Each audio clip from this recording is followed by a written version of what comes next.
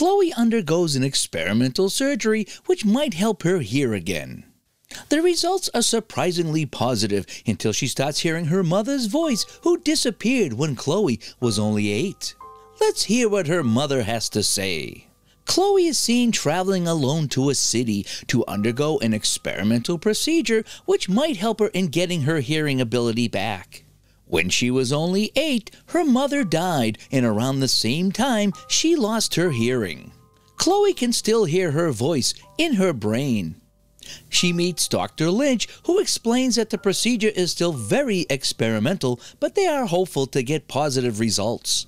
They inject a stem cell associated retrovirus that would help restore the damaged auditory nerve fibers. Chloe arrives at her old house alone while her dad is swamped with work. He regularly texts her about her health and even asks if she wants him to come back, but Chloe insists that she is fine. They are planning to sell their old house, so Chloe is living there to help her dad. She informs her dad about the broken heating system, and her dad assures her his friend Hank, who is an ex cop, will arrive soon to fix it. At night, she notices someone standing at the window of the neighbor's house and proceeds to lock all the doors and windows. She takes a kitchen knife for safety before going to bed. The next day, Hank arrives and Chloe uses her phone to communicate with him. Hank fixes the water heater in the family car at Chloe's request. Afterwards, Chloe remarks that last night she saw a light next door. Hank assures that she is safe and she can call him any time if she needs anything, and bids her goodbye. Chloe spends her time watching old family videotapes from when her mother was alive, but the TV plays are more static than actual footage. When she is driving around the town, she spots a truck parked outside a house and stops by. She hesitates to knock on the door when a guy comes from behind and introduces himself as Joshua. She remarks that she is cleaning out her house and asks if she can use his truck. Joshua then reminds her that they used to play together. He remembers she got really sick and lost her hearing before moving away. He invites her inside to meet his mom. She remarks that Chloe looks just like her mother and expresses her disappointment that they were never able to find out where her mom went or if she really died. Back at the house, Chloe repeats her routine of watching old family footage. She hears her mom call her name and asks her to say, Happy 4th of July.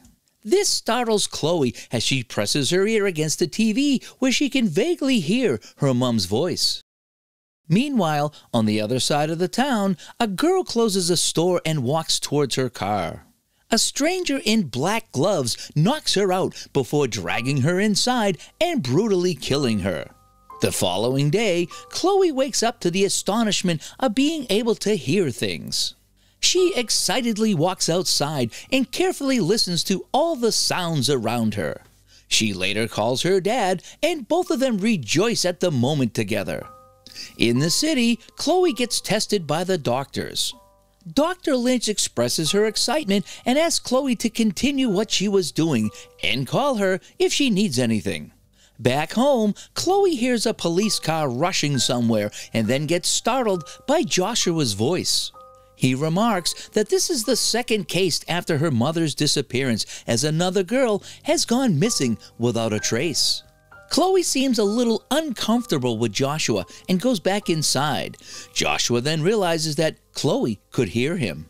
Chloe again watches the old tapes. Now, with her recovered hearing, she hears her mother ask her to go to bed in the footage and turns off the TV. She looks out the window to the house next door and hears a party going on. The noise is so loud that she takes out some earplugs to wear. As she lies on the floor trying to grab the plug, she hears several muffled voices from under the floor. She uses the kitchen knife to rip off the rug and hear clearly. She hears her mother asking her to say Happy 4th of July repeatedly, and her voice keeps getting distorting. Chloe visits Hank, who seems happy to find out that the procedure is working. He offers her some drink and talks about the missing girl. He claims that they have tried their best to find her mother. He also expresses his concern after seeing Chloe talk to Joshua and warns her to stay away from him. A few years back, several pets went missing. Although there was no proof, Hank believes Joshua and his mother were behind it, as they are weird. Chloe then thanks him for the heads up and then asks to borrow a drill. When at home, Chloe drills a hole on her bedroom floor to hear the voices more clearly. The voices are still the same, where her mother keeps asking her to say, Happy 4th of July. She uses a flashlight to point at the spot right under the hole and goes downstairs to press her ear against the floor. A sudden screech and bang is heard, which makes her ears bleed. She then proceeds to mark the floor using the chalk that just happened to be lying there for some reason. She soon notices the light in the house next door and bravely decides to investigate. After getting no response by calling out, she goes around the house and gets inside through an open door, but finds no one. Near the window that overlooks her house, she notices a chair facing the window with a tripod and electrical setup, which proves that someone had been there.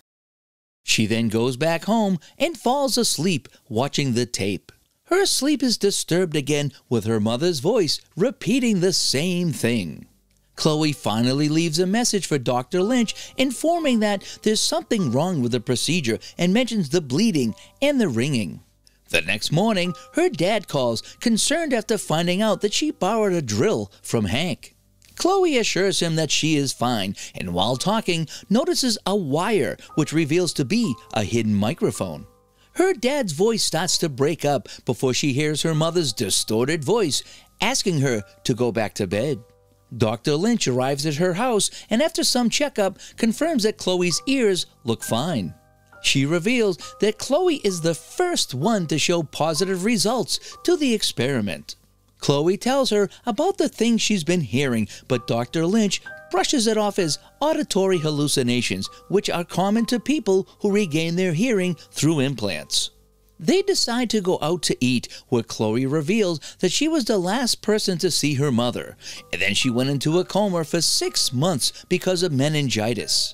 When she woke up, she lost both her hearing and her mother. But she could always hear her mother's voice in her head, and when she learned about the procedure, she desperately wanted to drown out her mum's voice. When they get back home, Chloe asks Dr. Lynch to stay and makes a move on her, which comes out of nowhere. Dr. Lynch rejects her and all of a sudden expresses her disappointment at Chloe for not telling her about the antidepressants that she is taking, which could corrupt the stud. As she goes on about the project, Chloe's ears start to ring and she rushes to throw up. Later, Chloe wakes up to an empty house and believes Dr. Lynch has left. Outside, she notices Joshua getting out of the house next door and follows him to his house. When no one answers the door, she invites herself in, as usual, and witnesses the nerd den that Joshua has created. She walks inside a room with several devices, and it is revealed that Joshua is the one who put the microphone in her house. She confronts him about all this, and Joshua claims that he takes care of the house next door. A few months back, he saw something weird at Chloe's house and started to keep an eye on it. He says that it's a frequency from the spirit world that only Chloe could hear. He forces her to listen to it, asking her to accept it, but the ringing in Chloe's ears increases and she shouts at him to leave her alone before storming off. Back home, Chloe watches the tapes again, but this time her mother communicates with her, asking how she grew up so much. The voice starts to get overwhelming for Chloe, and she passes out. She wakes up at Hank's house, who explains that her father called him concerned because she wasn't picking up his calls.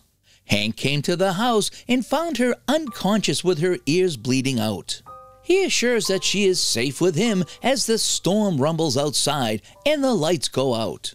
He goes to turn on the generator while Chloe finds that her phone is gone she notices a picture on the wall where Hank has folded out Chloe's father to leave him and Chloe's mother on the frame. She realizes that she is not safe and decides to leave using the car parked outside. But as she gets her boots, Hank gets there. She pretends to be sick and rushes to the bathroom, faking throwing up. She sneaks out the window just as Hank wears his black gloves and gets ready to kill her while talking about the noises in his head. Chloe runs towards the shed nearby, where she finds the bodies of the women who recently disappeared, along with Dr. Lynch. She then runs off to her house and tries to find a weapon, but just then, a video starts to play on the TV where Chloe witnesses Hank murdering her mother. Why is her mother's spirit trying to distract her? Hank arrives and knocks Chloe out.